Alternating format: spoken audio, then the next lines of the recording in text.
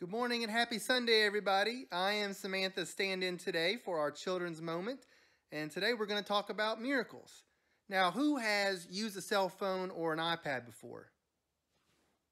I know I have, but have you ever wondered how neat it was to be able to call somebody and they could be all the way on the other side of the country and you still are able to talk to them? Now, I would call that a miracle. That might be a technology miracle, but it's still amazing. Or how about if you have an iPhone and you want to play music? You can just push a button and then you have music. Now there's miracles all around us. Uh, can any of you guys name me some different miracles? Right. So different things like maybe the stars in the sky or the ever-changing ocean. Miracles are around us all the time. And that's gifts from God.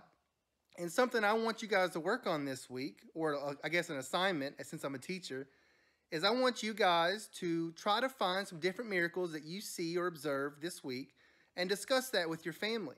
And I'd love to hear those answers when I talk to you guys next week. And hopefully we see each other in person. But I hope you guys have a wonderful, wonderful week. And I love you all and we miss you.